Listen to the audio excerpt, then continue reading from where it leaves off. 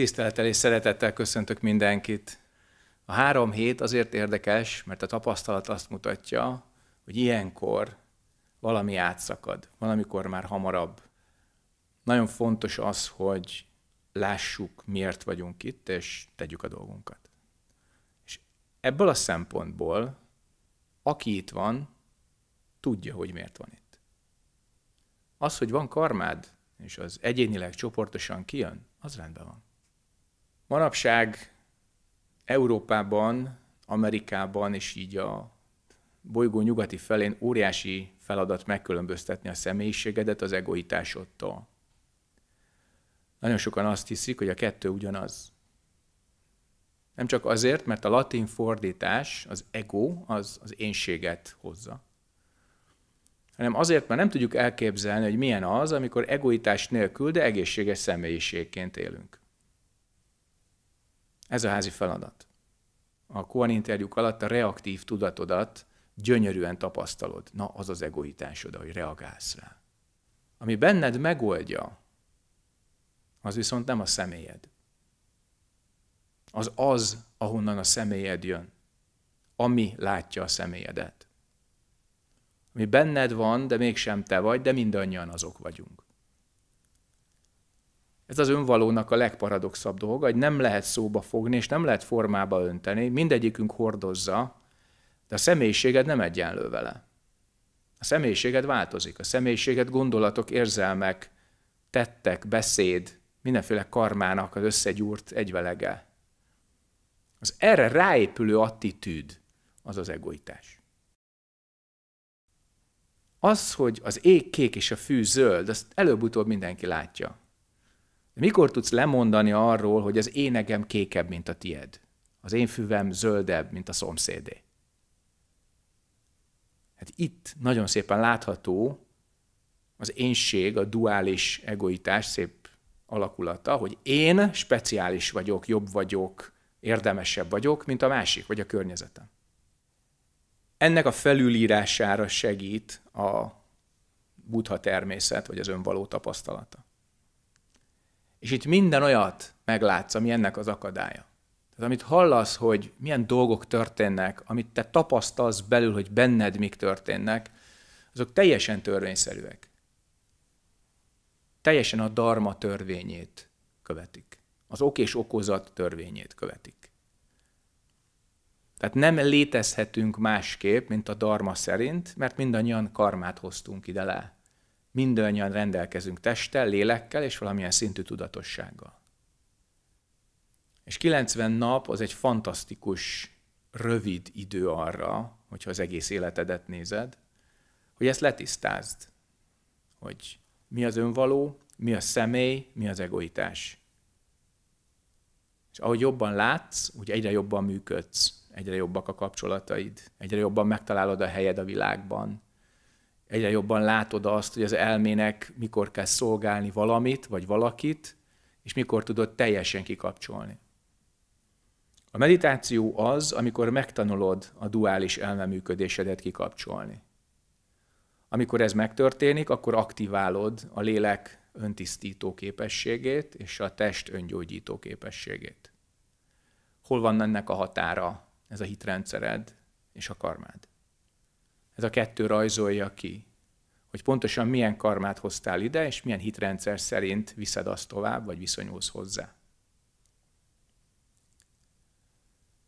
Én kívánom azt, hogy mindenkinek az életében legyen annyi idő, hogy három hónapra teljesen ki tudja magát kapcsolni az analóg és a digitális karmákat egyaránt. És valahol mélyen tisztázza le azt, hogy milyen karma hozta őt ide, magyarul miért született ide, mint egyén, mint pár, mint család és mint csoport. Három hónap rendkívül rövid idő. Emlékszem az elsőre 26 évvel ezelőtt, nem akartam lemenni az enteremből, az en központba, mely kb. egy 300 méteres távolság volt, volt egy kis tavacska, ilyen kis erdő, meg még több erdő. És az volt a tapasztalat nyomán a döntésem, hogy ez lesz az életem fő sodorvonala, és az is lett.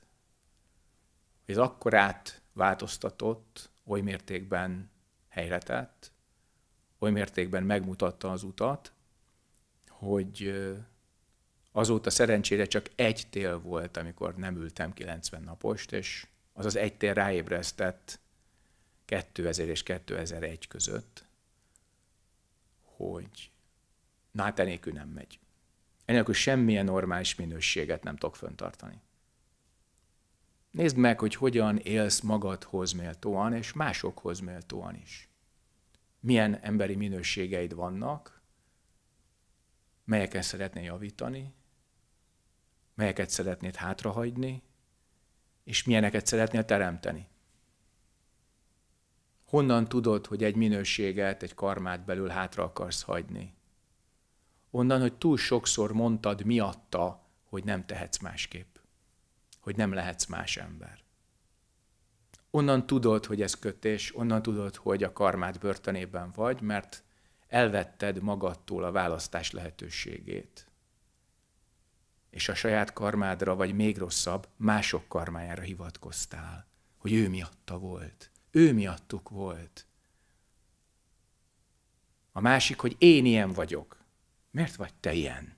Miért tetted magad ilyenné? Miért hoztad létre azt a karmát, amelyel azonosulva te azt mondod, hogy te ez vagy? Akkor tudunk magunkon változtatni, ha tapasztaljuk azt, ami nem én. Ez a nem én az, ami bennünk igazából közös. Elnevezhetjük ezt buddha természetnek, önvalónak, bárminek. De ez a nem én az, ami a buddha eredeti tanításában az anátman. Te mégis ez az, ami lát, ami látja a személyiséget, látja a kapcsolatot, látja a karmát. Ennek a látásnak a segítségevel teremthetünk, megtarthatunk és eltörölhetünk. Magunkon kell kezdeni, mert valójában csak magunkon tudjuk elvégezni a munkát, de ahogy ezt hallottad, egyedül nem megy, csoportban segítséggel, tanítással ez jobb. Helyesebb. Nem csak Szungszán mesternek vagyok hálás azért, mert ezt meghonosította nyugaton, hanem azért gyorsan visszaugorva 1500 évet, Bodhidharmának is, aki mondjuk Indiából úgy vitte át Kínába a tant, hogy az megkerülhetetlen lett, és a kultúra részévé vált. Tudhatjátok, hogy a buddha idejében nyáron volt három hónapos elvonulás, a monszun idején ültek, és egyéni elvonulások voltak, és naponta egyszer találkoztak a déli, akkor napi egyszeri étkezésre. És a kezdők csoportosan, a haladottabbak már egyénileg, ahogy ezt a Téraváda hagyomány megőrizte a mai napig, olyasféle meditációt folytattak, amely ennek a nem énnek, ennek a látónak, a nem keletkezőnek és nem megszűnőnek, a csak is jelenvalónak a tapasztalása. Ezt nevezzük eredeti tudatnak, vagy tiszta tükör, tiszta térszerű tudatnak. Az elme nincs meg valamilyen pozitív megnevezés vagy fogható definíció nélkül. Nagyon érdekes az, hogy mennyire szomjasak vagyunk a tudásra, és később ez a tudás felhőzi el a valóságot, eszkendőzi el a realitást előlünk. Hát hogyan tudsz a tudástól úgy megszabadulni, hogy nem leszel közben buta, és nem leszel képtelen a dolgaid ellátására, hogy egyben maradsz, de nem az ego szilárd kérge mögött, hogy látod azt, hogy milyen karmagyűjteményből vagy összerakva, de nem esel szét közben. Látod azt, hogy minden egyes karmád múlandó feltételhez kötött, eredetileg minőség nélküli, változtatható, de mégis te egyben vagy. A testünk ezt tudja. Hét évenként mindenki cserélődik benne, de a test az működik.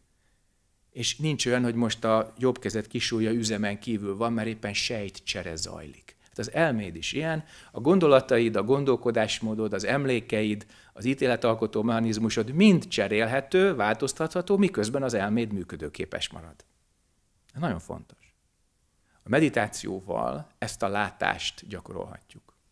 Ezért nagyon fontos ez a tan. A téli kiolcsi az pedig, mint tudhatjátok már sokan, a 8. században Pajcsang zenmester jó voltából honosodott meg, négy évszakos lett a fogadó kultúrája a zennek, télen a természet is kicsikét alábbhagy és befelé fordul és megfagy.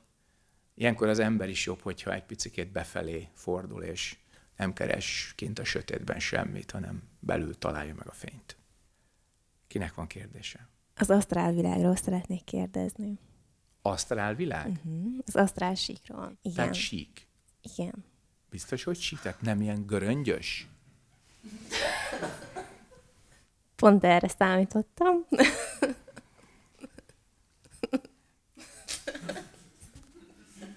Úgy tűnik, hogy eltűnt az asztrálvilág, és valamilyen derű maradt a helyén, és ennek örülök. Ha gondolkodsz, van asztrálvilág. Ha az elméd működését fel tudod függeszteni egy boldog pillanatban, és a szentséges niróda gondolkodás előtti állapotába visszatérsz, eltűnik az asztrálvilág. Egyébként zajlik a cirkusz. Az érzelmi és gondolati karma különböző síkjain, testhez közel és testtől messze, testen belül és testen kívül zajlik a show műsor. Meg kell találni a kikapcsoló gombot. Az pedig nem más, mint ez. Tedd félre az egészet. És ha megtaláltuk a kikapcsoló gombot, utána vissza lehet úgy kapcsolni, hogy tudatosan használjuk. Egyelőre találd meg a kikapcsoló gombot, utána beszélgetünk. Jó, akkor lenne még egy kérdésem. Ez egy picit egyszerűbb. Vajró csanáról tudnál valamit mondani? Vajró csanának van egy nagyon érdekes kéztartása, a menny és a föld egysége, tehát a teljes megvilágosodás buthája. Ezt szerintem érteni fogod. Ez, ez. Tehát a yin és a yang, a föld és az ég találkozása, és a teljes egység. Ez a Mahajánának egy olyan buthája, amely Amitábhához hasonlóan nem rendelkezik személyes inkarnációval mögötte. Hát Sákyamuni ugye személy volt, Jijang Boszába, vagy Sitigarba szintén személy volt, de Amitábha a mérhetetlen, Amida, mély végtelen tér, végtelen idő buthája, amögött nem volt személy, és énekeljük naphosszat, már legalább 1500 éve és gyönyörű. Belépsz a nem térbe és a nem időbe, amikor hallod, és a gondolkodásod így eloszlik. Egy picit nem lesz. Te maradsz, az nincs, hogy te nem leszel. A gondolkodásod az. Vajrocsana ugyanilyen. A Mahajana azért zseniális, és a pszichológusok szeretik nagyon, mert externalizál, a térbe helyez, megnevez és megformál olyan belső tulajdonságokat, amelyeket egyébként elég nehéz lenne artikulálni. Nehéz lenne megnevezni, megszólítani. Egy hatalmas tudati konstelláció az egész Mahajána panteon, de hát ott istenség van, csak hát ők is a tíz irány részei. A buddhák és bótiszhatvák pedig az Istenvilág fölött vannak.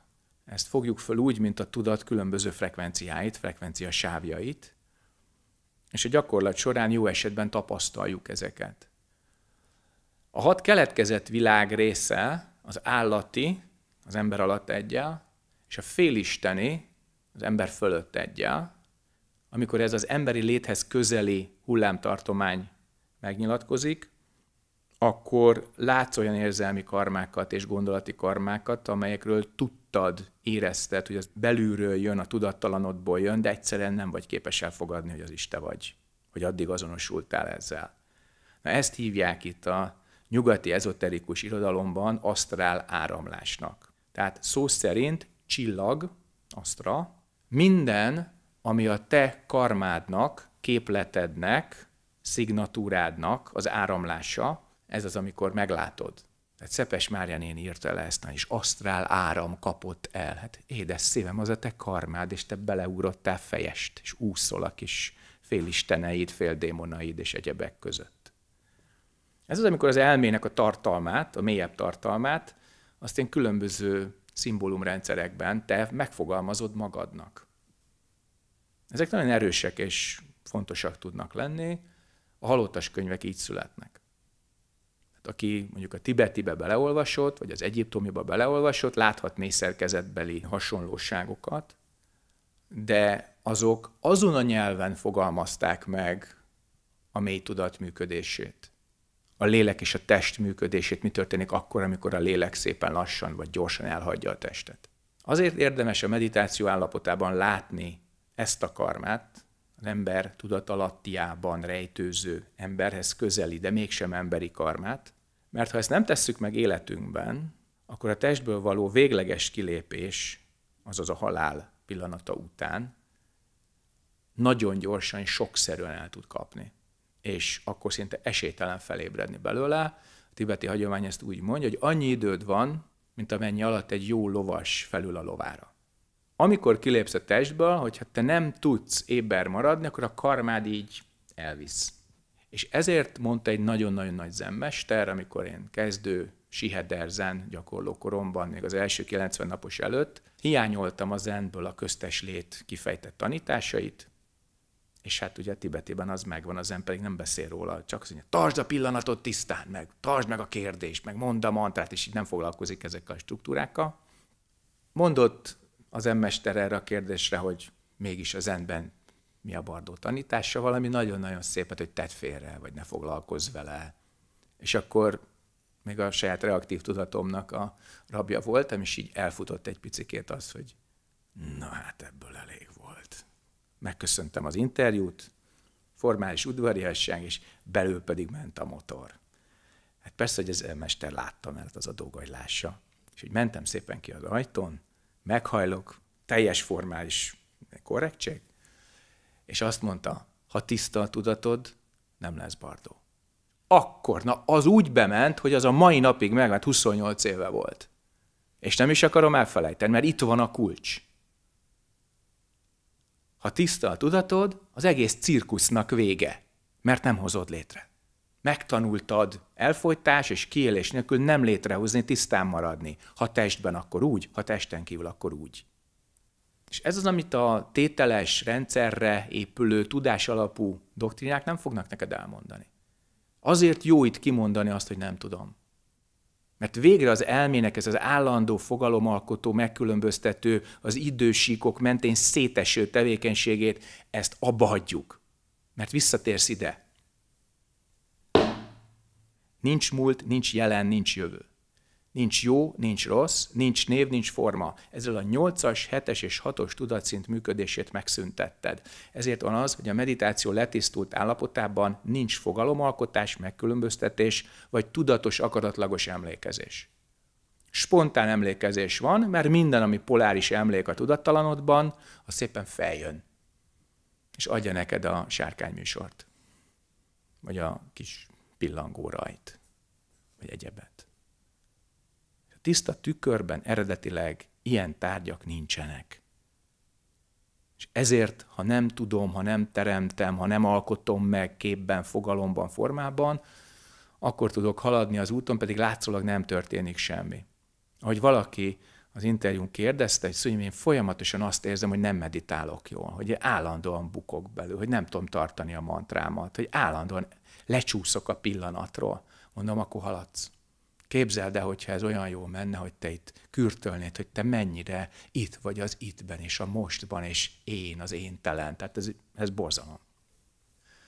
Hát végre-végre látjuk, hogy mi mindent viselünk a tudattalanunkban, a kis hátizsákunkban, és ahogy az jön föl, és jön le, és az azonosulás megszűnik, úgy egy, egyre tisztább a kép, de nincs, hogy én haladok, meg megyek, meg beérkezem, tehát ha ez van, akkor külön passzerral kell lesmérglézni ezt róla, és ezt úgy hívják, hogy koan praxis. Mert a koanban ott van az, hogy nem tudom.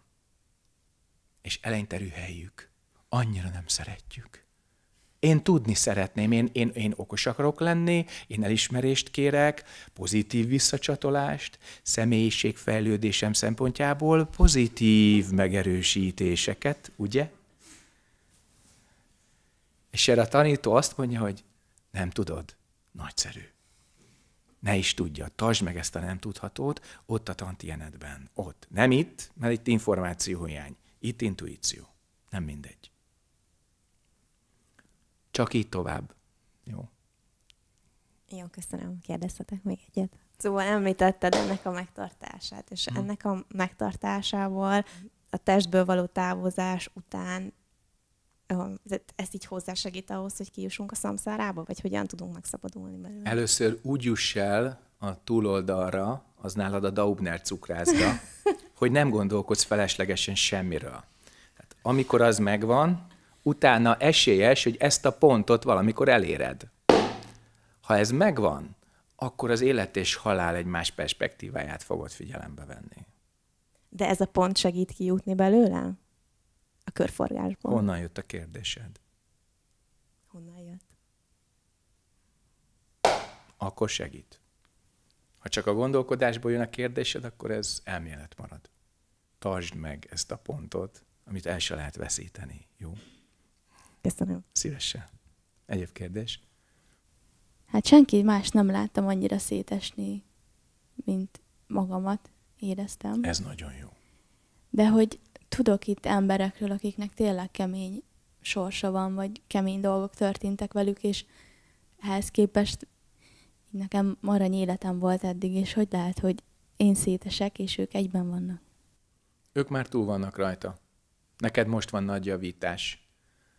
Láttál már igazi autószervizt, ahol tényleg darabokra szedik az autót? Nem. Egyszer menj el, nagyon szívesen segítek, ebben a környéken is van jó pár. Egyetlen egy sofőr sem üvölt, hogy úristen, szét van szedve. Borzalmas. Az összes alkatrész ki van terítve. Tehát amikor a karmádat látod itt belül, és nincs én fogalom, ami összefogja, az egy nagyon érdekes érzés. Tehát megvan a jelenlét, de nincs én érzet. És az alkatrészek közül nagyon sok meg van rohadva, szét van repedve, el van törve, el van használódva, és mind kuka, úgy, ahogy van. És az az érdekes, hogy ahogy kidobtál egy karmát, a helyén lesz egy friss. Belül is, és ha belül megmered tenni, kívül is. Tehát, hogyha külsőleg az életed látszólag nem működik, valójában valami benned nem működik. Az, hogy az ember egy ilyen állapotba kerül, hogy van jelenléte, de nincs egységes személyiségélménye, mert állandó alkatrészcsere zajlik belül, az nem megszokott, de teljesen normális. Ha így haladsz, akkor teljesen friss élmény van, és minden pillanat a kezdés pillanata lesz. A friss kezdés pillanata lesz tiszta tudattal. Namcson zenmester mondta, ne szóljatok hozzám teli hold előtt, utána is csak egyetlen szót mondjatok. A teli hold, a tiszta tudat holdja, az az ő megfogalmazásában ezt jelentette. Tehát amíg az az élmény nincs meg, hogy a tükör teljesen üres, addig minden koncepció valami karmikus torzulaton alapszik. Az elmének a korábbi habitusán alapszik, valami korábbi traumából jön, valami múlt jelen jövő szakadásból jön, valamilyen duális feszültségből jön. Amikor a teli hold megvan, utána ez csak egyetlen szót mondj. Ez azt jelenti, hogy ne akard újra rendszerezni a valóságot, mikor már tudod, hogy az a te illuzórikus kreálmányod. Az égnek mindegy, hogy mit tudsz róla. Neked nem mindegy, hogy mit tudsz róla. A világ nem attól függ, hogy mi milyen modelleket alkotunk róla. A mi életünk a világon attól függ, hogy milyen modelleket alkotunk róla, de a világnak teljesen mindegy. Tehát ezért is csak egyetlen szót is, ez az igazság. Erről szól az új kohanom. Tényleg? Igen. Akkor jó kohant kaptál. Igen, Nagyon megint. jó. Köszönöm. Szívesen. Egyéb kérdés? A meditációról szeretnélek kérdezni. Egy mostani friss tapasztalás, hogy amikor tavasz van, meg madarak énekelnek, meg ülök és lehet hangokat hallani, akkor úgy érzem, hogy sokkal csendesebb vagyok belülről, mint most, amikor csend van. És egyszerűen nincs kapaszkodó pontom, csak Nagyon jó. Ezért van ez a környezet, hogy semmilyen kapaszkodó pontod ne legyen. magyarul zavar a csend. Pedig Nagyon jó. azért kitűnő. jöttünk ide, hogy, hogy hú, itt csend van, végre, végre, és, és őrítő a csend. A röngen szoba sugárveszélyes. Ezért sem szoktunk sokáig ott tartózkodni. Ha törésgyanús egy végtag, akkor a röntgenképre szükség van.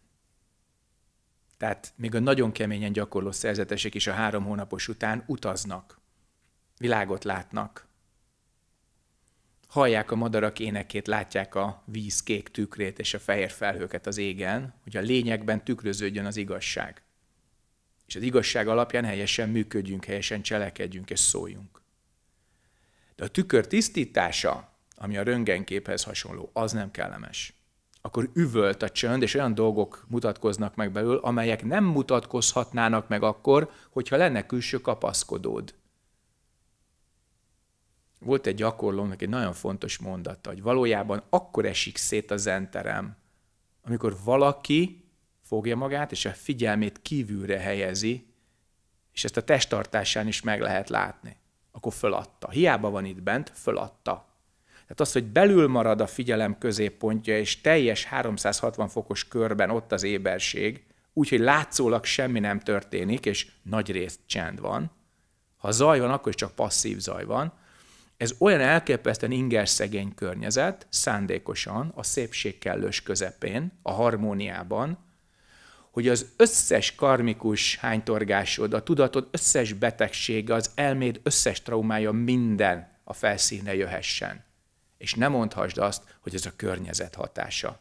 A környezet hatása az, hogy barátságos emberek körülvesznek napi háromszori étkezést, tető a fejed fölött, minden rendben van. Tehát tudod, hogy ha bajod van, azt te hoztad oda. És mindannyian ezt tettük és tesszük.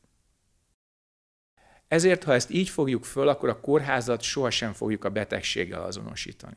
Tehát mi hoztuk az egészet ide, mint karma, és nem itt kaptad.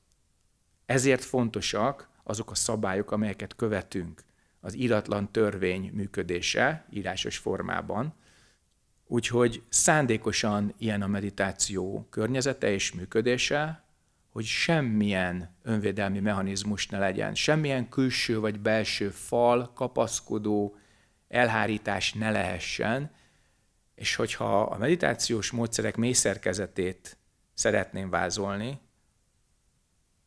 már az alanyakra, tehát az önvalóra irányuló módszereket említve itt, azok mind abban közösek, hogy felfüggesztik a fogalomalkotó, megkülönböztető és az idősíkok mentén elkülönülő, tehát múltra, jelenre és jövőre szakadt tudatot.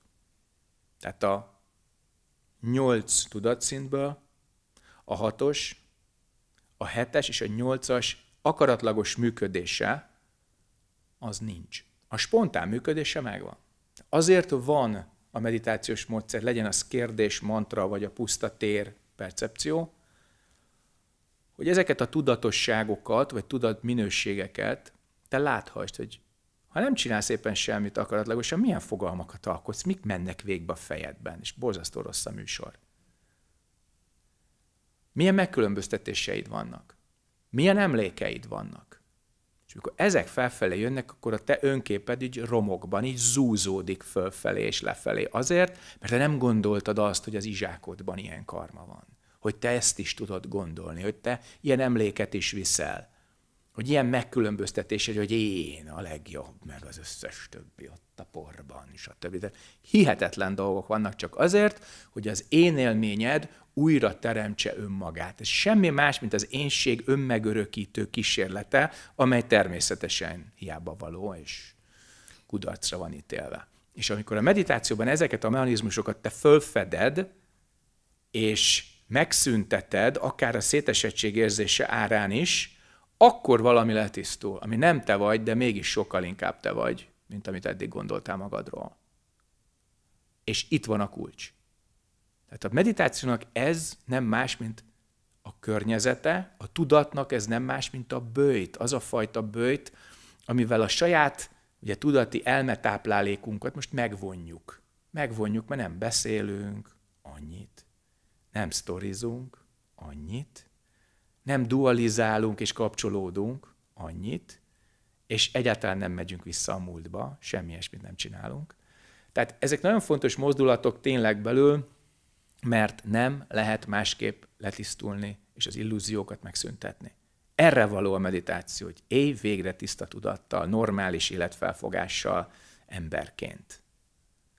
Azt nem soroltad fel, mert gyakorlatilag azt látom, hogy igen, már ezt is láttam, igen, már ezt is láttam, igen, már ezt is láttam. Hogy gyakorlatilag, mintha folyamatosan így 360 fokban olyan dolgok köröznének, amiket már most már százszor láttam, és most meddig nézem még? Egész addig, amíg a kikapcsoló gombot meg nem találod. Ez nagyon fontos, hogy már tényleg meguntam annak lenni, aki eddig voltam, azt a karmát nézni, és akkor végre térjek vissza a gondolkodás elé, és akkor egyszer csak visszatér a sok-sok kognitív, meg emocionális karma a dualitás elé, és energiává válik. Honnan tudod, hogy ez megtörténik, hogy nem tudsz aludni rendes tevékenység nélkül. Ez amikor a karmádat energiává visszalakítod, akkor csak lelőni lehet, de így egyébként nem. Tehát ez teljesen kizárt. És az normális, hogy gyakorlatilag ezt az élményt már megéltem, de most olyan, mintha teljesen visszazuhantam volna. Igen, normális, más. mert az ember, most nem neked szól személyesen, de az ember rászokott ülni az eredményre, és akkor megint megszilárdul a kis kéreg, csomósodik a karma, és akkor megint el kell keverni a kozmikus palacsinta tesztában a sok-sok én csomót, és akkor süthető megint. A forma üresség, és az üresség forma a karmád energiával alakul, és az energiád ismét karmává, tehát látás, hallás, szagás, tapintás, ízlelés. Természetben ez annyiszor megmutatkozik, hogy ez hihetetlen fény, prizma. Felbomlik, megint prizma, megint fehér fény. Ez ameddig akarod, addig megy, és amikor az embernek elege van ebből, akkor megtartja ezt a tiszta tükör tudatot, és az összes többi mindegy, úgy, ahogy van.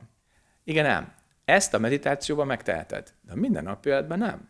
Tehát ott az egység tudatot úgy kell felhasználni, hogy te a dualitás világában egész, egységes, tiszta tudatú lény maradjál. Na, ez a feladat. Mert a hegyen ott marha könnyű. Egy idő után te hozzászoktál, jól csinálod, meg minden. Igen, nem csak lejöttél ide, mert ugye család van, gyerek van, munka van, élet van, na akkor maradjál te békés, amikor körülötted mindenki dühöng. Akkor maradjál tiszta, amikor mindenki véleményt alkot. Akkor legyél te vágytalan, amikor mindenki rohan a bevásárlóközpontokba és mutogatja, hogy mit vett. Na, így már más. És ez az a bodhisattva élet, amiért itt gyakorlunk és dolgozunk. És segítjük egymást. És még egy kérdés, hogy vajon ez összekapcsolódik, ez, amit bent tapasztalok, és az életemben pedig azt, hogy most mint egy tojógalam magam körül toporgok, és egyszerűen se erre nem, meleg, nem tudok, nem merek, nem akarok lépni se erre, se emerre, se emerre, csak forgok, meg burukkolok, aztán ennyi. Most kötsz legmélyebb barátságot Hermész Trismegisztosszal, aki azt mondta, ahogy bent, úgy kint, ahogy fönt, úgy lent. Úgyhogy a tabulas maragdinában gyakorlatilag megtalálsz mindent, ami a tudat műveléséhez kell, és az a szép, hogy a, az európai kultúrának ezek a kis gyönyörű égkövei, amelyek a nagy agyakbányában megmaradtak valahogy a gnosztikus, hermetikus, misztikus egyéb dolgok, amelyek tényleg a tapasztalatra és a transzcendens tapasztalatra épültek, azok ezt egy kicsit hordozzák. És hogyha bent valami rendezetlen toporgás van, persze, hogy az élet is megáll körülötted, és nincs flow, és nincs haladás. Ahhoz belül valami karmát el kell tudni engedni, valami akadályt át kell tudni törni, valami jégtömböt föl kell tudni olvasztani ahhoz, hogy ez a flow élmény, a haladás meglegyen. És meg is lesz. Tudod miért? Mert makacs vagy. És addig nem nyugszol, amíg meg nem nyugszol. Addig haladsz, amíg már tényleg haladsz és addig meditálsz, amikor már tényleg tiszta lesz. Úgyhogy jó utat továbbra is. Menjünk szépen együtt. Köszönöm szépen. Ja. Egyéb kérdés? Az első kérdésem az az volna, tegnap meg volt az első korn interjú. Furcsa volt. és uh, mi a teendőm? Legyél továbbra is optimista. Jó. Mosolyogva, előrenéző, világos szempillantással szemléld az utat, és ne szűnj meg járni rajta ugyanis minden Koan interjú házi feladattal végződik. És a házi feladat azt jelenti, hogy épp azt a kérdést nem tudtad. Légy boldog a nem tudható tapasztalatával. Hogy az elméd ezt se tudta. Itt se formált önképet, itt sem zárt börtönbe a kis tudásával, és nem akartad másnál jobban tudni, mert azt a választ éppen te sem tudtad, és a többi ember is, aki kijön onnan, a sajátját ő se tudta, és ez nagyon jó így. Ez gyönyörű. Itt az történik, hogy az intuíciód, mert nem csak Ildi makacs, itt mindenki makacs, mert élni akar, meg embernek akar lenni, meg meg akarja oldani a problémát, meg bizonyítani, meg hogy simogassák meg az, hogy azt mondta, hogy helyes. Hát azért az nem utolsó, dolgozó hat hónapig egy konan, és így rátalálsz, mint ugye tyúk a szem, és így tényleg? Basszus, ezt mindig tudtam. Hát ez olyan egyszerű. Hát te most hirtelen eldobom az összes zembotot. Hát ez borzasztó. ez a minőségorientált közelítés, ez az, ami az emberben az értéket teremti. A koanoknál tehát annyi mindent megtud az ember magáról és a világról, hogy ezek a paradoxonok teljesen kinyitják. Amikor nem tudod, akkor szépen lemegy a tudattalanodba, és mint a kérdés, ott honol, és várja azt, hogy te energiával egy picit megpakold. Pontosan olyan, mint a mag, elvetett tavasszal, napfény, öntözés, táp, és kihajt, és jön. De ha nincs napfény, nincs öntözés, nincs rendes komposzt, vagy engedett, hogy a madarak megegyék, ugye, akkor nem hajt ki. Ezért kell gyakorolni. Jó, köszönöm. Szívesen. Na, másik kérdésem az pedig az lenne, hogy az együttérzésről, ha mondanál dolgokat, hogy hogyan lehet gyakorolni, és mi a, mennyire, mi a különbség a sajnálat, együttérzés között, és az hogy lehet inkább együttérzés felé vinni, hogyha valakivel vannak ilyen dolgai az embernek. Ha neked fáj, nekem is fáj. Ha boldog vagy, én is boldog vagyok. Ez az együttérzés. De nem sajnálok azért, mert fáj, és nem irigyellek azért, mert boldog vagy. Az együttérzésnek az alapja az, hogy ez az egy tudat megvan. Tehát az egyévállás tapasztalata az nem valamilyen zen idea. A gyána, csanna, csan, szon, zen, mind az egyévállásról szól, ez ugyanaz a szó. Elmélyülés, egyévállás, megtisztulás, megvilágosodás, felébredés. Az együttérzés nem valami érzelmi pozitúra, de megnyilvánulhat érzelmekben is, gondolatokban is, beszédben is, cselekedetben is, és mindezek hiányában is. Amikor már valakinek úgy fáj, hogy nem tud beszélni róla, mert ott helyben szétpattanna a szíve, akkor hallgatni kell tudni vele együtt. És nagyon-nagyon komoly az, amikor vele együtt hallgatsz, és nem valamilyen kis elkülönült egóburok mögül ottan szemléled. Na, él még? Lélegzik? Vagy már vége van? Na, akkor már hozzászólok, ha vége van. Brutálisak tudunk lenni az elkülönültség álcája mögött. Tehát az egyé vált tudat azt jelenti, hogy teljesen egyé tudok válni azzal, ami benned éppen végbe megy. Honnan tudod, hogy ezt a másik ember érzi? Onnan, hogy megbízik benned. Tét nélkül? Program nélkül, egyszerűen megbízik benned. Azért, mert érzi, hogy érzed. És hogyha neked fáj, és neki is fáj, akkor elképzelhetetlen, hogy ártson neked, mert az ugyanannyi, mint ha a saját magának ártana. És azért is kapsz segítséget tőle, mert ebből az is következik, ha téged segít, akkor magán is segít, teljesen ugyanazzal a mozdulattal. Úgyhogy az együttérzés nem lehetséges a tiszta, tükörszerű tudat tapasztalata nélkül, mert csak abban tud a másik tükröződni, semmi másban. Minden egyéb valami karmikus beállás, valami pozitúra, valami érzelmi vagy értelmi fixa idea, amitől szerintem neked jó lesz. És ekkor van az, hogy a pokolba vezető út jó szándékkal van kikövezve. És valaki összetörte a másiknak a szívét, pedig úgy tűnt, hogy csak szeretni akarja. Igen, önző, ítéletalkotó, bezárt módon szeretni akarta a másikat, az pedig elrohant onnan, mert vérzett a szíve az első másodperc után. Úgyhogy az együttérzés nem létezik tiszta tudat nélkül, de ugyanaz a forrása a bölcsességnek is. Tehát a nem dualisztikus bölcsességnek ugyanaz a forrása, mint az együttérzésnek. Onnan tudod, hogy egyszerre működik mind a kettő. Tehát az együttérzés nem gyengesség, nem naivitás, nem megtéveszthetőség. Szó nincs ilyenről.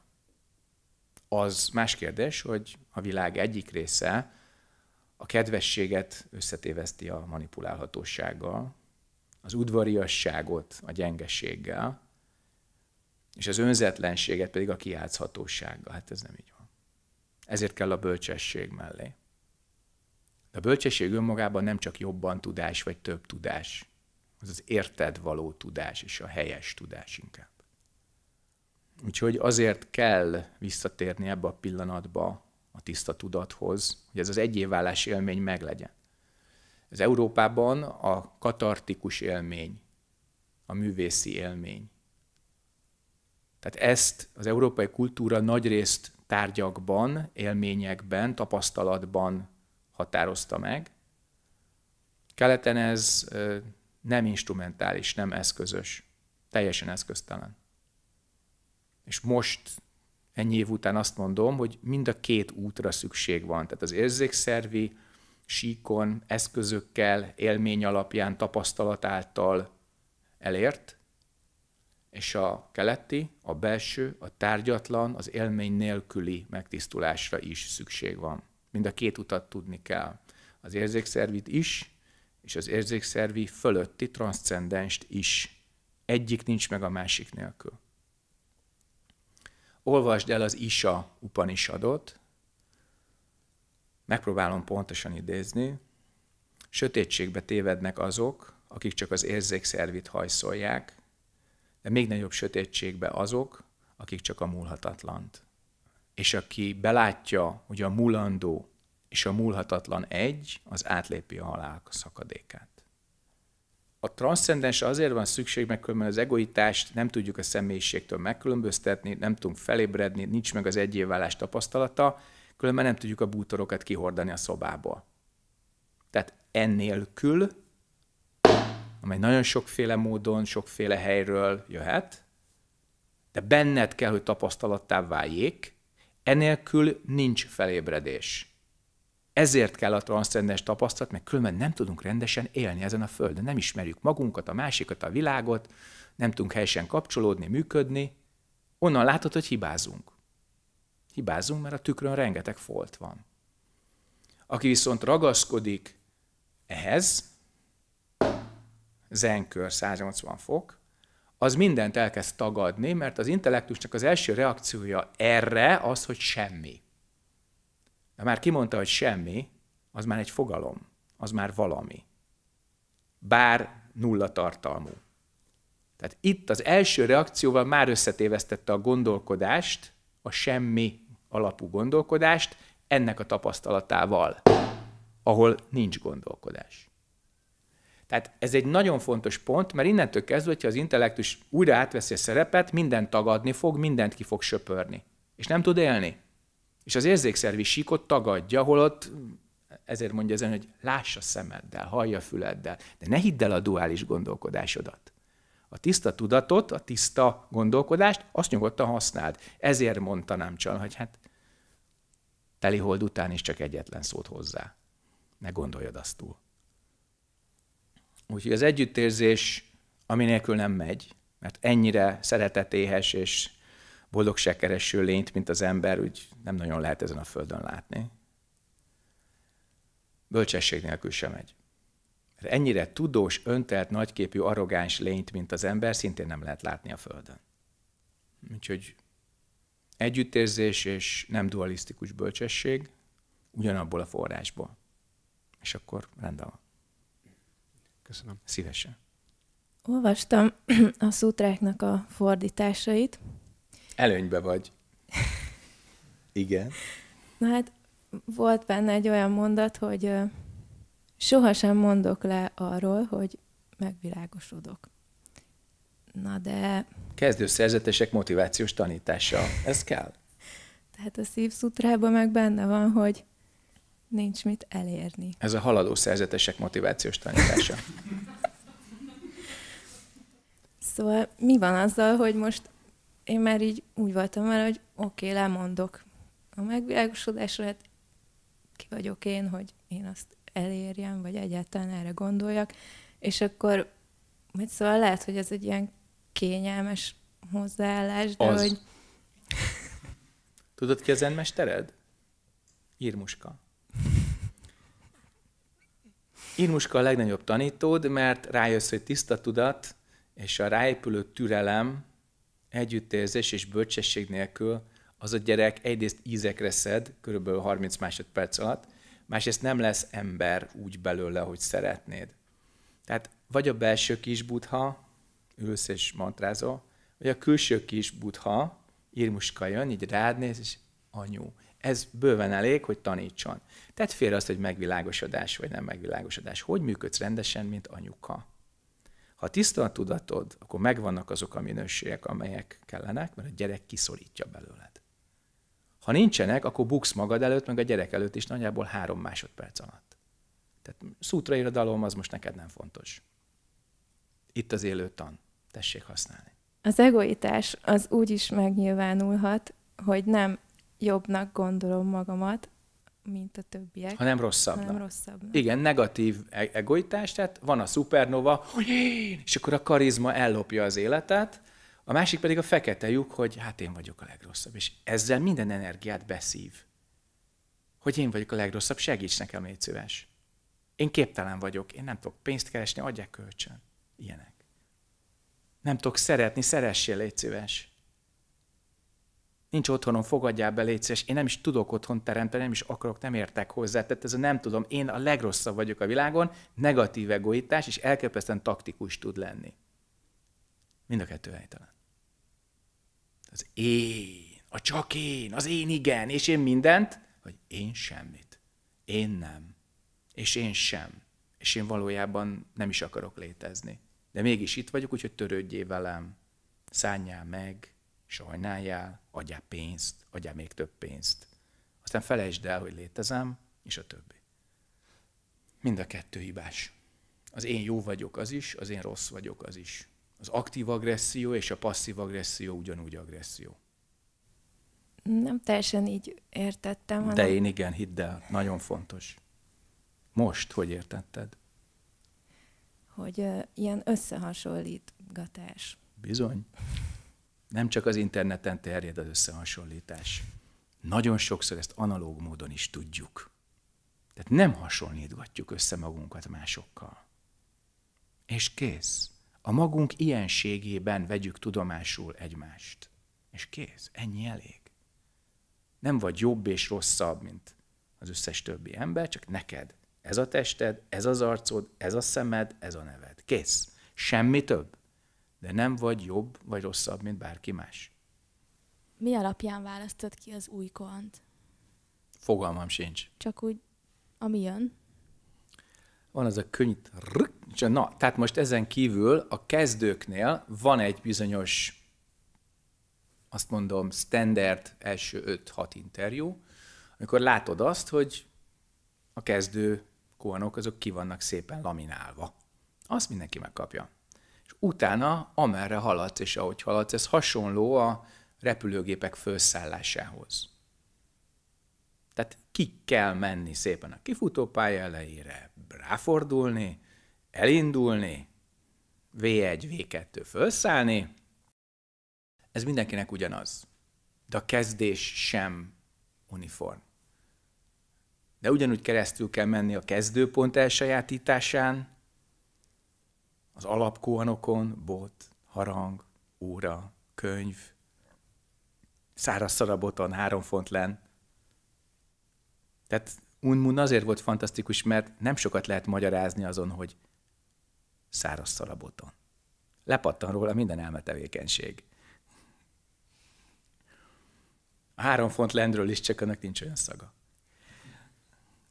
És akkor utána, ahogy túl vagy a redőnyön, túl vagy Jojo remetein, túl vagy a mosogatáson, utána szépen elkezd kinyílni a legyező, mint ahogy a felszállógép, aztán majd két-három ezer méteren már tényleg azt csinál, amit akar, és megy, amerre az útvonal engedélye szól.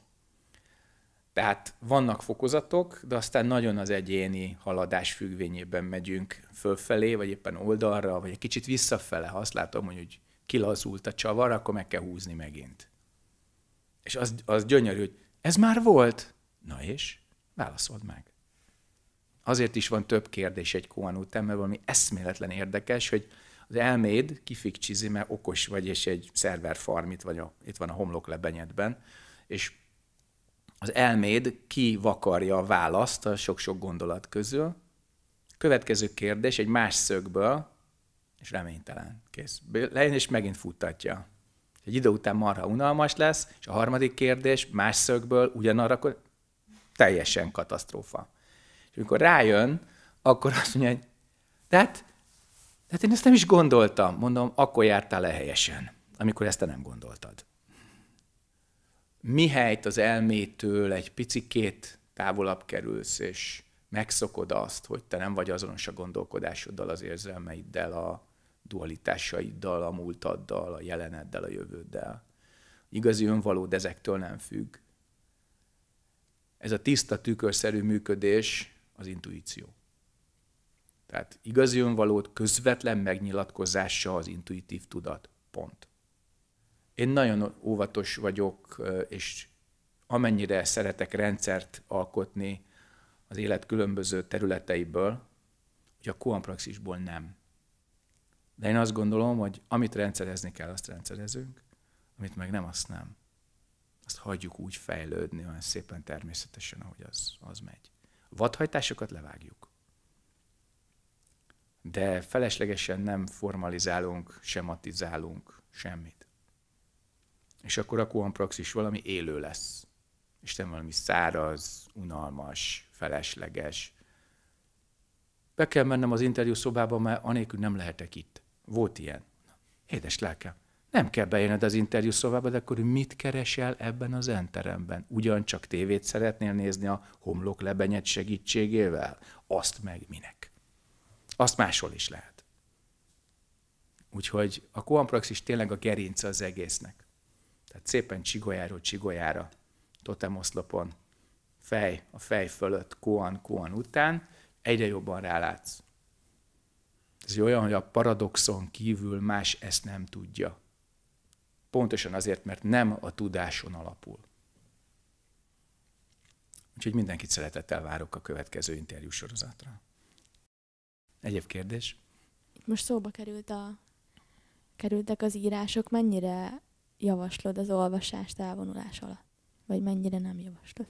Mennyire önálló az elméd, és mennyire szoktat meg a gyakorlatot, ettől függ. Igazából nem az a kérdés, hogy mit olvasol, hanem hogy szükséged van-e külső koncepciógyűjteményre. Tehát segít neked az, hogy most ilyen ákombákomokat dekódolsz magadban? Segít? Ha segít, akkor nyugodtan. De hogyha megakaszt, ha csak körben forgás van, ha akadályt csinálsz a gondolkodásból, akkor meg egyik ló erre húzza a szekeret, a másik ló arra. Minek? Tehát a kék ég és a madárdal a legnagyobb szútra. És amikor tényleg ennek a pillanatnak a tisztasságát éled, az egy darab betű nem kell. A zen első alapelve elmondja, hogy ne támaszkodj az írásokra. Nem azt mondja, hogy funkcionális analfabéta légy, vagy műveletlen. Akik ezt leírták, azok a legintelligensebb lények közé tartoztak az adott korban, vagy az adott országban, és rengeteget olvastak. A kuanok, ha nézed az emmester neveket, nagyon sokszor szutramesterek voltak azok az enmesterek, amelyek azon kuanokat megírták. Hát Doxán a Gyémán Szutra mestere volt, és hallotta, hogy van olyan kolostor délen, hogy nem olvasnak szutrákat, csak ülnek a fallal szembe, és azt mondják, hogy valamilyen felébredést elértek.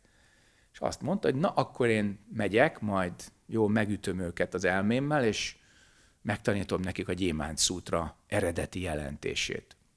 És elindult, és már jól benne volt az utazásban, már több hete gyalogolt, megszállt egy fogadóban, és a tulajdonos, egy öreg asszony, megkérdezte a szerzetes, hogy nagy tiszteletű úr, hát merre megy? Én délfele. És honnan? Északról. Vajon mi áradban?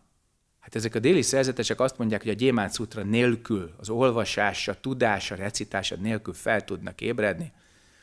Ez eretnekség. Ha így van, mondta az öreg asszony, akkor megkérem, hogy válaszoljon meg egy kérdést a Gyémánt Szutrából. Ha sikerül, akkor ingyen van az ebéd, ha nem, akkor fizetnie kell érte. Micsoda? Én mindent tudok a Gyémánt Szutráról, mondta Doxan. Bármilyen kérdést föltehetsz. A Gyémánt az van, hogy a múltra, jelenre és jövőre szakadt tudat nem érheti el a felébredést. Akkor milyen tudattal fog most ebédelni?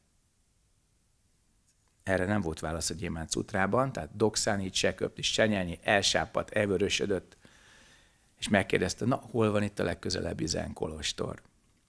És hát Jaksán zenmesternek éppen ott volt a temploma, odaért, egész este beszélgetett az emmesterrel, aki nagyon kedvesen fogadta, természetesen ismerte a szútrákat, de nem szútra mesteri nézőpontból tárgyalta azokat. Ez nagyon fontos. És besötétedett. Doxán azt mondta, hogy hát most már ideje nyugovóra térnem, de nagyon sötét van odakint, nem, nem látok valami lámpás lenne esetleg? És Jaksán meggyújtott egy ilyen rizsmécsest, odatta, és Doxán azt mondta, ó, köszönöm, ennek a fényében már tisztán fogok látni. Abban a pillanatban Jaksán elfújta a mécsest, és Doxán felébredt. Másnap az összes kommentárját, amit az izsákban vitt, kihorta az udvarra, felgyújtotta, körbe táncolta, és azt mondta, hogy most már minden zenmester tanításának hinni fogok. Úgyhogy ez, ezek ilyen édes történetek, de annyiban valósak, hogy ezen áttörés nélkül nem tudták volna azokat a kónokat megélni, megírni és továbbadni, amelyek benne vannak. Tehát a doxán viszi a csészeit, ez innen van, ő ez a zenmester lett. Tehát az nem állt le, hogy úristen, én rájöttem, hogy nem a foton függő fény az, amitől látunk. Ugye? És onnantól kezdve gyakorolt, és eltelt jó pár év. És a jó pár év után átfordult valami nagyon-nagyon lényeges a tudatban, és akkor jöttek ezek a koanok.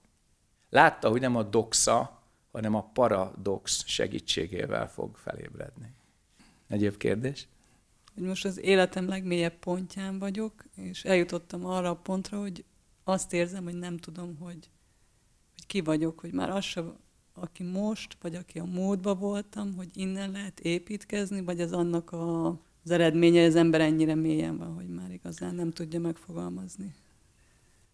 Önmagát. Még mélyebbre kell menned, mert még tudod, hogy a mélyponton vagy. Amikor már azt is elfelejted, akkor kezdesz el kifelé jönni. Felejtsd el még azt is, hogy a mélyponton vagy. Tér vissza a barna padlóhoz, a fehér textíliához, a tálkészleteden, a mellette lévő ember lélegzéséhez, és felejtsd el az egész énedet úgy, ahogy van. Mert még mindig van mély, még mindig van múlt, még mindig van trauma, még mindig van valami, amit látszólag te vagy. El tudnám felejteni, akkor már Először azt felejtsd. mondhatnám, hogy megvilágosodtam. Nem, ez egy olyan koncepció, ami most visszatart, és az önvédelmi mechanizmusod része. Amíg te önképpen rendelkezel, addig mélyben leszel. És amikor ez az önkép megszűnik, és marad az ég kék, a fű zöld, a padló barna percepciója, onnantól kezdve beszélhetünk valami másról, valaki másról, de addig nem. Mert a múltad ural, a traumád ural, az azonosuláson keresztül kötődsz a karmádhoz, és csodálkozol, hogy visszahúz. És ez mindenkinek szól. Tehát a nyugati terápia rengeteg, több ezerféle módszert kifejlesztett ahhoz, hogy te újra rakd a személyiség képét. De egy valamit egészen a közelmúltig elfelejtett, hogy mindaddig, amíg a traumáddal azonosulsz, addig azt újra fogod termelni. A kelet semmi más nem csinál, csak ezt az azonosulást vágja el, de olyan mélyen, tehát annyira fontos a nem én tana, hogy az énségednek a keletkezett, a teremtett voltát, az avatár mi voltát te lássad és éljed, mert ez a megszabadulás. Tehát ahhoz, hogy ezt elérd, az avatárnak, a személyiségnek a mindenféle önlét nélküliségét be kell látnod, ahhoz, hogy újra teremthessd. És ehhez az kell, hogy néha nem a szétesettség érzése, hogy a nem lét érzése. Hogyha rá gondolnál, akkor úgy érzed, hogy te, mint énség nem létezel, de nem gondolsz rá. Annál te sokkal okosabb vagy. Nem gondolsz rá, mert nem kell rá gondolnod. Ez a just do it, a csak tedd állapota, a pillanat tisztasságának az állapota. De az elme, amikor ezt hallja, az, hogy milyen egyszerű. Ezen nincs is mit gondolkodni. Akkor már én ezt értem is. Nem érted. Vagy ha érted, rosszul érted, mert nincs tapasztalat. Azért ülünk itt ennyit, és azért csináljuk ezt, hogy tapasztalássá váljon a személyiség teremtett, általunk meghatározott mi volta. Ekkor leszünk urai az életünknek, és nem máskor. Amíg külső kapcsolatoktól függünk, amíg a múltunktól függünk, más emberek tetszésétől, nem tetszésétől függünk, addig vagyunk rabjai a karmáknak így. A szellemi autonómia nem üres fogalom. Pontosan azért gyakorlunk, hogy azok lehessünk, akiknek lennünk kell. Aki betölti az életét, végigjárja az útját. Él a családjában, a társadalomban, a párjával, önmagában, mind a négy osztályt tudja Az egyénit, a párost, a családit és a csoportost. És mégis az egyénnel kell kezdeni. Magunkon kell dolgozni. Nem várhatod el, hogy a másik három karmaosztály téged csak úgy kiszolgáljon. Úgyhogy a legelső dolog, hogy nem minősítjük magunkat és az állapotunkat, de tisztán látunk, hallunk, szagolunk, gondolkodunk és érzünk. Teljes tisztasága, de nem mondom azt, hogy én ez vagyok, vagy ez nem vagyok. Ezen minősítések leszedése az első ugye, lazító mozdulat, hogy az öndefiníciónak ezt a gúzsba kötő kötelét szépen leveszed magadról, de nagyon tisztán látod, hogy mi az ok és okozat működése. A beszédnek, a tettnek, a gondolatnak, az érzelmeknek milyen következménye van. Ezt látjuk, de nincs öndefiníció. Nincs önítélet, másítélet, balítélet, sem. És ezért kell elviselni azt, amit látsz. Mert a látásból lesz a megszabadulás, anélkül nem. A gondolkodásból csak gondolkodás lesz. Nagyon szép, nagyon jó. Rengeteg könyvet, meg komputert, meg egyebet lehet készíteni. A gondolkodást, ha nem haladjuk meg, ha az érzelmi dualitásokat nem haladjuk meg, ha a koncepciókat, a formákat nem haladjuk meg, addig mindig a rabjai leszünk a karmának, és mindig valaki mást fogunk okolni, vagy a világot, hogy olyanok vagyunk, amilyenek. Ezért fontos a gyakorlat. És ezért szedem le azt az önképet, amit hagysz, mert a Koan interjúban pontosan ez történik. Te azt hitted, hogy tudod, mégsem. Azt hitted, hogy ez vagy, mégsem. Azt hitted, hogy ez a karmád, ó, hát még annál sokkal több. Ugye ezt a változást kell tudni elviselni. És ez mennyi idő, még az ember mondjuk eljut egy elfogadható szint? Mi az idő? Ha megmondod, mi az idő, akkor megmondom, hogy hosszú vagy rövid. Hát, amit világidőben mér. Tehát van nem e világi idő is? Látod? Amint időben gondolkodsz, így kiejted az egészet a kezedbe. Ne gondolkodj térben és időben. Tér vissza ebbe a pillanatba, ez bőven elég. Az éntelenség felé vezető úton az nekem kicsit, nem is kicsit olyan élmény, mint ahogy Buddha kivonult az életéből, a családjától, a gazdagságból, mindent hátrahagyott, hogy ezt az utat bejárja. De hogyan lehet úgy, hogy járod ugyanezt az utat, vagyis afelé tartasz, de közben ott van a családod, ott van a munkád, ott van az, amiben helyt kell állnod? Miben segíthetek?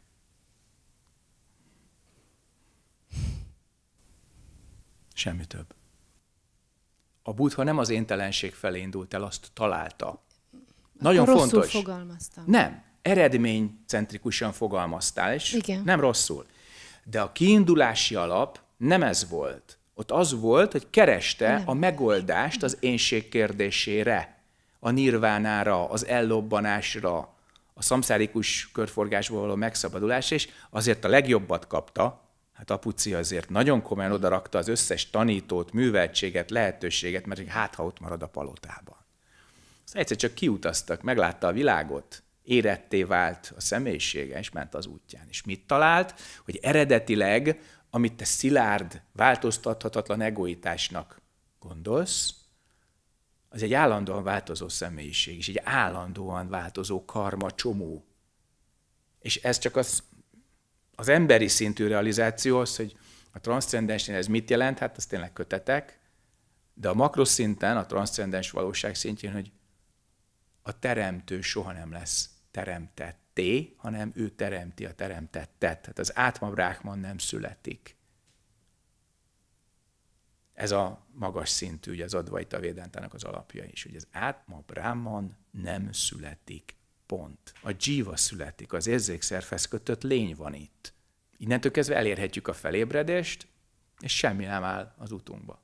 Ha ezt a kettőt nézed, a személyi szintűt és a kozmikus, ugye, önvaló szintű dolgot, ugyanazt mondta. És ezzel forradalmasította a szellemi utat 2500 évvel ezelőtt. Zárójel, és most nem pusztán neked mondom, a nyugatot azt forradalmasítaná mondjuk a fizika szintjén, hogyha a kvantumfizika és az Einsteini relativitás elmélet ugyanazt a nyelvet beszélné, és lenne átjárás a kettő közt. Tehát két teljesen különböző nyelvet beszél, a mikrovilág, a szubatomi világ leírása, és a makro, az intergalaktikus több milliárd fényéves történet leírása, ezek nem találkoztak eddig. Ugyanezért a nyugati szemlélet, ami a személyiség működése, meg az istenség, istenségek, ahogy nézzük, tehát a makrovilág működése, ez még nem találkozott, és éppen ezért van akkor a helye egy olyan paradigmának, ahol ugyanaz a törvény mozgatja a kicsit, meg a nagyot. Az énség akár emberi, akár ilyen hatalmas, nagy, kozmikus valami, ugyanazt a törvényt követi. Na ez a darma. Ez a váltás, ez annyira nem kispályás, hogy aki ebben elkezd haladni az úton, az az énséget is, és az éntelenséget is megtalálja, de teljesen másképp, mint ahogy eddig gondolta. A Buddha azt találta, hogy az én eredetileg nincs. A személy ez egy teremtett dolog, és az átma Brahman pedig nem teremtett és nem születik. Kész. A kettőnek nagyon mély hatása volt az emberiség fejlődésére. Tudatilag már nem tartanánk itt, hogyha ő ezt nem tette volna bele. Még mindig valami objektívben, szilárdnak gondoltban, valami attribútumokkal terhes teremtőben hinnénk, egyöntetően, és akkor harcolnánk, mert a te Istened szakála rövidebb, mint az enyémé. Úgyhogy a Buddha végül is nem tudjuk, hogy mit talált. De amit hátrahagyott, azt használjuk. Hát az út ezért fontos, a hagyomány folyamatossága ezért fontos, az átadási vonal ezért fontos, úgyhogy tessék interjúra jönni, hogy át lehessen neked adni a tant. Az előbb kérdezted, hogy mi az idő. Szent Ágoston azt mondja, hogy az idő nem más, mint a lélek kiterjedése. A zen mit mond? Mi az idő? Fogalmam sincs. Tamás, meg kérlek fordítsd ezt vissza eredeti állapotában. Most én téged kérdezlek, mi az idő? Fogalmam sincs. Akkor viszont használd a szemedet.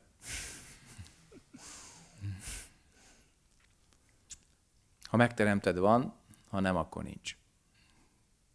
Köszönöm. Holnap tankalvatás, Balsegyi Guru.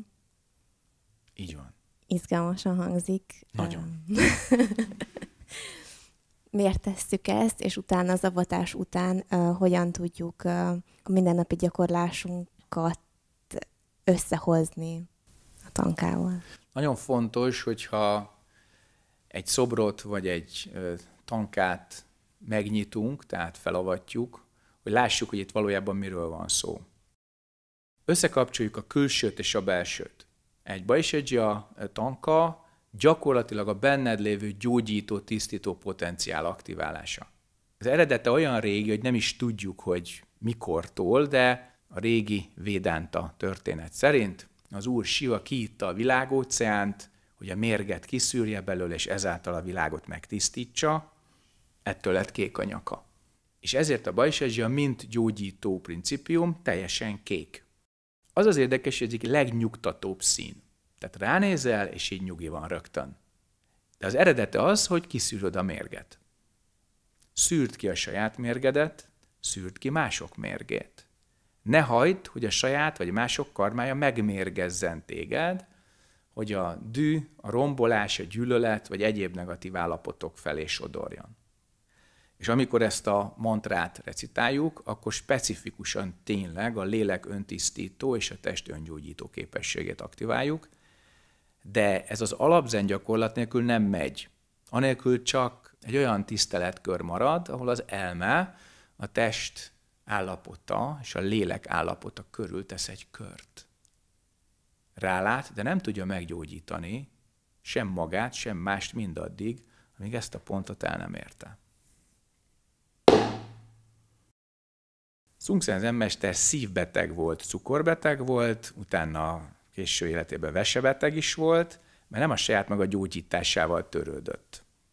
80-es években először szívkórházba került Amerikában, ahol azért már a meditációnak pár évtizedes múltja volt abban az országban, és megkérdezték az orvosok, hogy Sir, mi tudjuk, hogy maga az emmester. És az emmesterek tudnak egy-két praktikát. Miért nem gyógyítja meg magát? Azt mondja, meg tudnám, hát. És miért nem teszi? Hát, hogyha fölmennék a hegyre száz napra, akkor megtehetném. Értem, de miért nem teszi? Ja, mert nem lenne korrekt tanítás. Úgyhogy amíg magunk és mások karmájának a tisztításán dolgozunk, addig ez rendben van. Az avatásra azért van szükség, hogy tényleg a név és a forma kötődjön, a külső és a belső találkozzon, és szűrjük ki a karmának a mérgét, amely az azonosulás mérge is. Ez erről szól. És ezt úgy tudjuk föntartani, hogy recitálod továbbra is a mantrát, és az összes egészségtelen elmeállapotot kiszűri. Tényleg, hogyha csinálod, akár vizuális praxissal is összekötve, ha az elméd olyan elképesztő bakugrásokra kárhoztat téged, hogy egyszerűen elveszel. Elveszel a kis asztrál birodalmadban, akkor kell megkötni az elmét a vizuális képpel és a gondolkodást a mantrával. És akkor nem teremtesz olyat, ami csak árt neked, vagy másnak egyaránt. Úgyhogy nagyon fontosak ezek a szertartások, mert ezáltal a lélek megnyílik, aktivál magában olyan dolgokat, amelyek eddig csak passzívan voltak, tudatosít magában olyat, amelyek eddig csak tudattalanok voltak, és járja az útját ezáltal. Úgyhogy a holnapi avató szertartás után még több mantra, még több leborulás, még kevesebb karma, és még tisztábban látás. Oké? Okay? Remélem, hogy mindannyian együtt járjuk az utat. Folytatjuk azt az egyszerű és tiszta tapasztalást, amelyért idejöttünk. Nem hisszük el a saját karmánkat, nem azonosulunk a történésekkel, de felismerjük a helyzetünket, megfelelő módon tartjuk a kapcsolatot, és helyesen cselekszünk és beszélünk azért, hogy mindannyian elérhessük a felébredést, és megszabadítsunk minden lét a szenvedéstől. Köszönöm a figyelmet!